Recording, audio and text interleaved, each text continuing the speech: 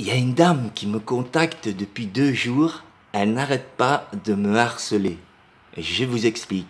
Bonjour monsieur, je me présente, Madame Bellefeuille. Je représente la société Holding Corporation de Bruxelles et je me permets de vous sonner parce que j'ai vu sur le site Deuxième Fait, Deuxième Main, que vous aviez un véhicule très intéressant. Alors, je vous téléphone parce que nous avons un listing de clients, mais très très intéressé par le type de votre véhicule. Je vous explique. Nous avons une formule d'abonnement, tout simplement, à 120 euros par mois. Et chaque jour, nous vous envoyons des, des mails euh, avec des acheteurs, mais potentiels, très intéressés par votre véhicule. Je vous explique comment ça marche.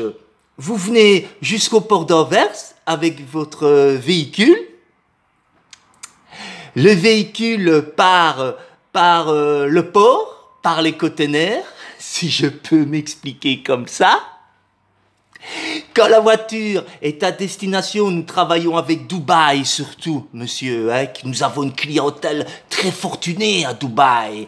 Et alors, quand le véhicule est réceptionné, vous, entre-temps, vous, nous donnez votre numéro de compte en banque et nous vous transférons l'argent sur votre compte. Nous sommes une société euh, avec 20 ans d'expérience.